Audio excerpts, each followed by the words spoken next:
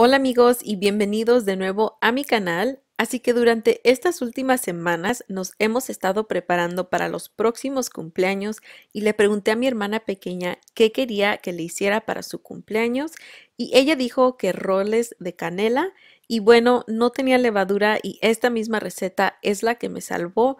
Hoy estoy compartiendo mi receta de rollos de canela sin levadura con ustedes. Comencemos.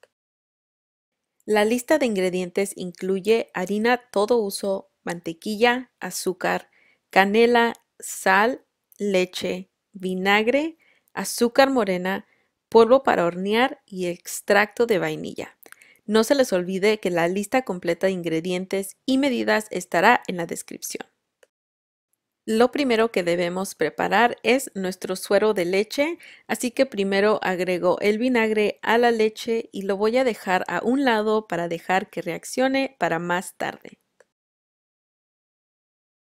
Luego voy a agregar la harina todo uso en un tazón, también voy a agregar toda la azúcar, el polvo para hornear y la sal.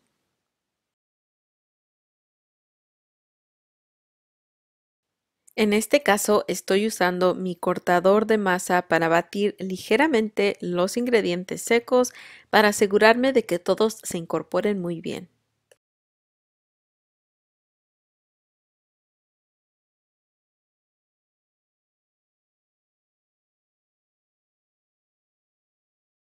Ahora estoy agregando la mantequilla y asegúrate de que la mantequilla esté fría y cortada en cuadritos pequeños y con el cortador de hojaldre corté la mantequilla así en la harina.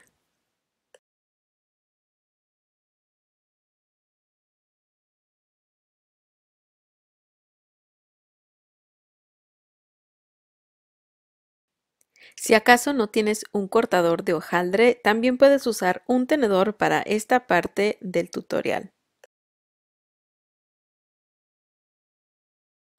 Después de unos minutos de cortar la mantequilla, voy a revolver rápidamente el suero de leche y voy a agregar el suero de leche a la harina.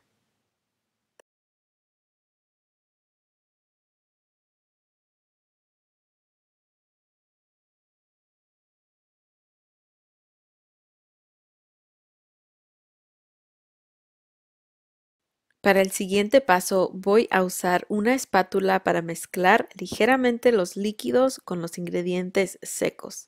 Para esta parte queremos asegurarnos de que estos se incorporen muy bien antes de que comencemos a amasar esta masa.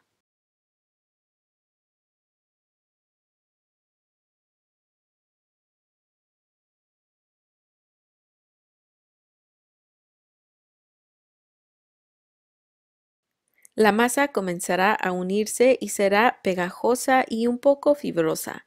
Esto es completamente normal, así que lo que voy a hacer es enharinar una superficie antiadherente y voy a amasar mi masa con la mano hasta que se una. También puedes amasar tu masa en un tazón grande o también incluso puedes usar una batidora de pie, pero realmente prefiero hacer esta masa a mano porque se basa en cómo se ve y cómo se siente la masa. También voy a incorporar lentamente la harina en la superficie a la masa y continuaré agregando más y más harina hasta que mi masa ya no se pegue a mis manos.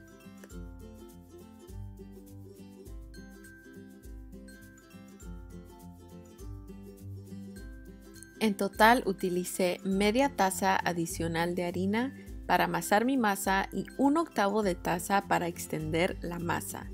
Esto puede variar dependiendo en cómo esté de húmedo donde tú vives, así que agregaré más notas sobre esto en mi receta escrita y aquí por debajo les dejo el enlace al sitio web.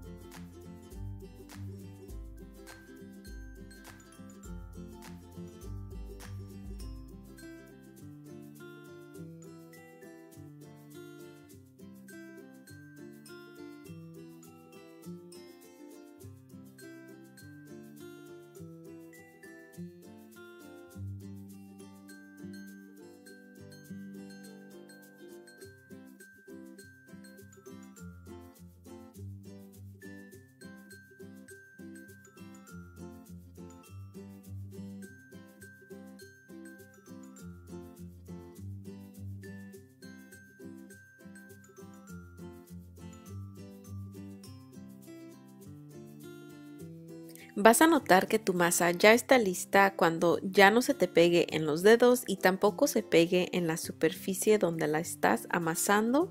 También la masa estará un poco fría y vas a notar que tiene como unos agujeritos como entre la masa o se va a ver un poquito esponjosa. En este punto es exactamente cuando ya está lista.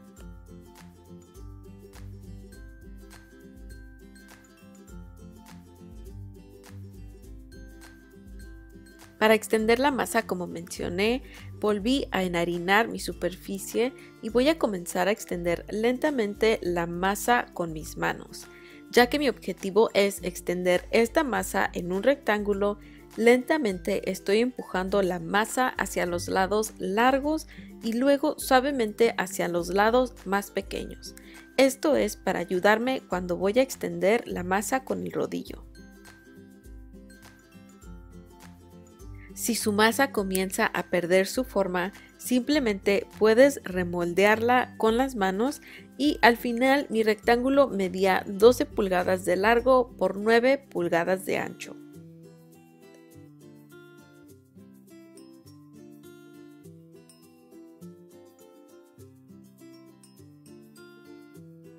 Para el relleno vamos a mezclar azúcar moreno, canela, azúcar normal y también derretí un poco de mantequilla y simplemente voy a mezclar todos estos ingredientes para formar una pasta.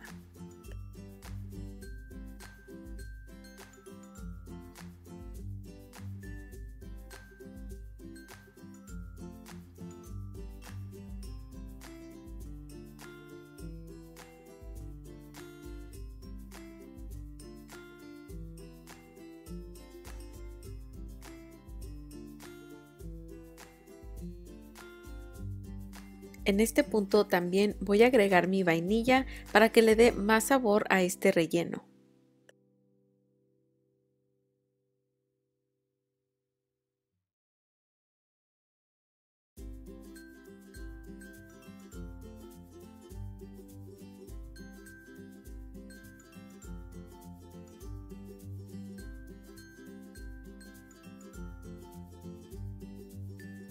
Al extender la pasta, asegúrate de dejar al menos un cuarto de pulgada de masa libre para que puedas enrollar la masa y pellizcarla en los extremos. Al principio vas a notar que la pasta es un poco arenosa, pero básicamente lo que tienes que hacer es lo que hice yo aquí, que tomé una espátula angulada y simplemente voy a tratar de presionar la pasta sobre la masa hasta que nos aseguremos de que la pasta esté bien compacta sobre la masa para que no se vaya a caer cuando estás enrollando.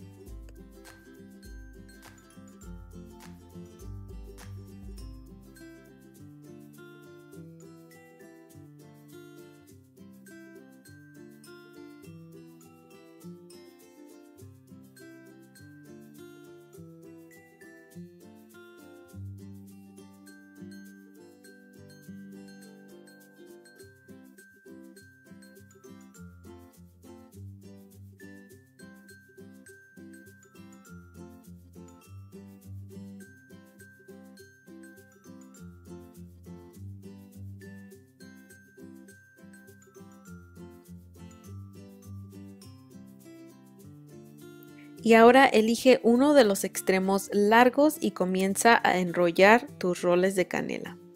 Asegúrate de enrollar lo más apretado posible para que no se nos vaya a salir demasiado todo el relleno que le pusimos a estos rollos.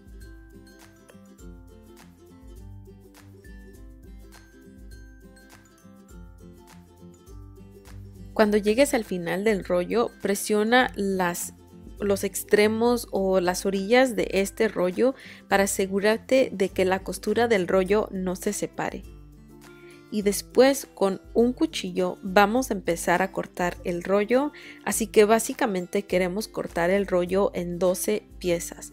Y para que esto sea más fácil, voy a comenzar en el centro del rollo y luego voy a cortar esas piezas en mitades y esas piezas por 3 para que nos dé un total de 12 piezas. Estoy usando un molde para hornear de 13 por 9 pulgadas, sin embargo, dado que estos rollos no se expanden demasiado ya que no tienen levadura, me pareció un poco demasiado grande para la receta, así que al final dupliqué esta receta y agregué otros 3 rollos a este plato. Si estás horneando la receta tal como está, les sugiero que horneen en un plato de 10 por 6 para que sus rollos se expandan a su capacidad, pero para que su plato también se llene por completo.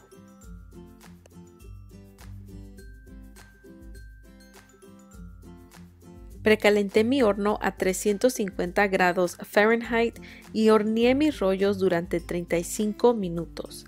Luego apagué el horno y dejé que mis rollos de canela continuaran horneándose en el horno caliente durante otros 5 minutos. Al final de los 5 minutos retiré los rollos y dejé que se enfriaran en una rejilla.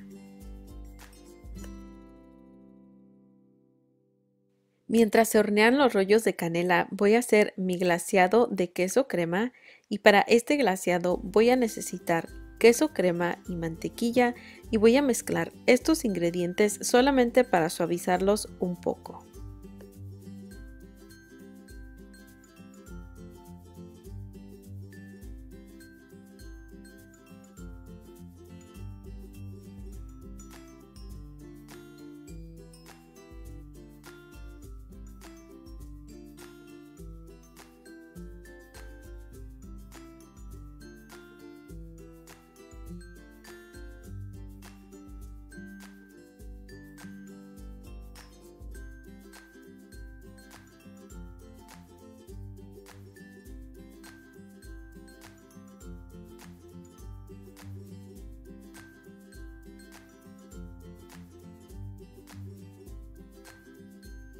Ahora estoy agregando el azúcar en polvo y la vainilla y también el resto de queso crema junto con un poco de leche y voy a mezclar hasta incorporar todos estos ingredientes. Y la razón por la cual puse el queso crema al final también es que en el principio iba a usar menos queso crema, pero no se preocupen porque le voy a dejar todos los ingredientes y las medidas en la cajita de descripción.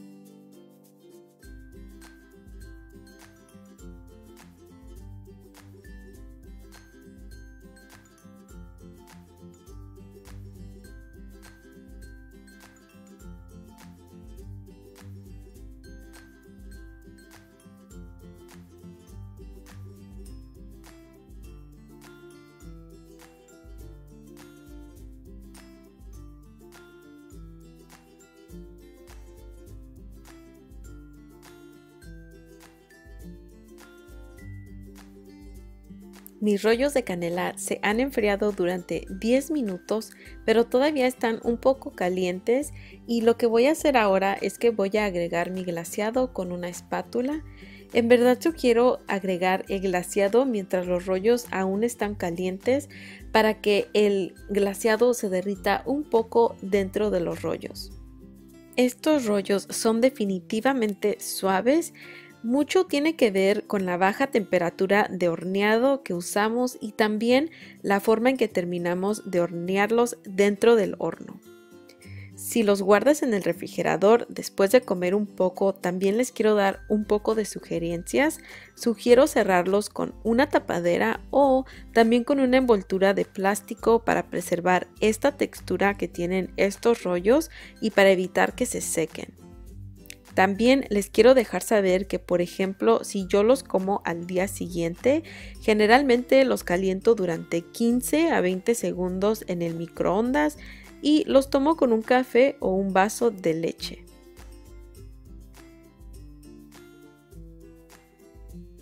Y hemos llegado al final de este tutorial, así que ahora los voy a dejar con un vistazo a cómo se ve la textura de estos rollos en cuanto los cortas y los sacas de este molde. En verdad espero que trates esta receta, déjame saber si tienes alguna pregunta en los comentarios y tampoco se les olvide revisar el enlace a mi página web para que encuentren la receta escrita y también los ingredientes en la cajita de descripción. Muchas gracias por ver este video. No se les olvide dejarme un like si les gustó este video, regalarme un comentario, suscribirse al canal y hacerme el favor de compartir esta receta con una de sus amigas. Hasta la próxima. Bye.